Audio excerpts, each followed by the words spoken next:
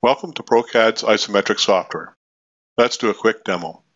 Double-click the isometric icon to start the software. In the Drawing Manager dialog box, select the standard to use. For this demo, we'll use the Twin Lakes project. Select the new icon, enter a file name, double-click the file name to open the drawing. On the left, you will see the isometric toolbar, and on the lower left, the active settings. Let's begin by inserting a border. Select the Utility tab and the border icon. Click the default size, and then enter the data for the project. This data can be updated at any time during the drawing session or future drawing sessions. When all the data is input, click OK to accept. Now let's insert a north arrow. Select the Miscellaneous tab and the north arrow icon. Pick the appropriate north arrow.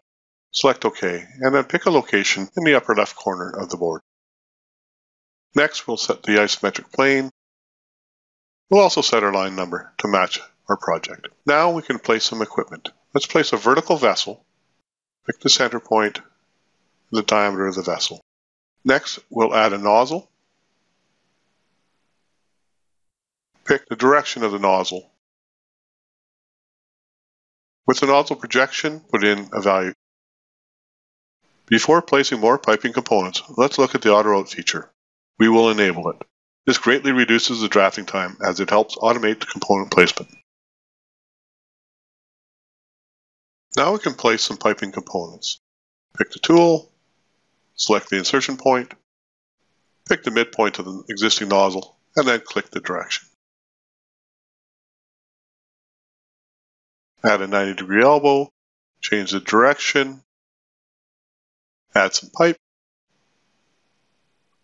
add another 90 degree elbow, changing the direction, add a flange set, and then select a gate valve. Add a stem, pick the direction of the stem, and it inserts the complete valve set. Add some more pipe, add another elbow, changing the direction, add some more pipe, add a reducer. You can change the size of the reduction or take the defaults.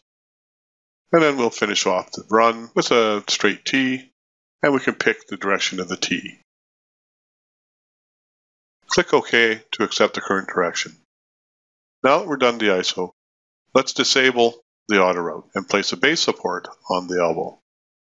Let's reset our size to 2 inch and put in a base support. Select the center of the elbow and the direction we want the support to go.